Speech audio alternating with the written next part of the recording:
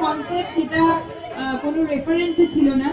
তো সেই জায়গা থেকে পুরোটাই ইট ওয়াজ ইন দের মাইন্ড তাই জন্য কোনো রেফারেন্সও আমি পাচ্ছিলাম না বলে আই ওয়াজ রিয়েলি কনফিউজ যে বাঁশের শাড়ি বা বাঁশের গয়না বা বাঁশ দিয়ে কি করে আমরা মানে এই কনসেপ্টটাকে ফুটে তোলাবো বাট তারপরে ডেফিনেটলি আমার যে ডিজাইনার সে অনেক এটা পিছনে কেটেছে এবং ডেফিনেটলি তোমরা অনেক একদম।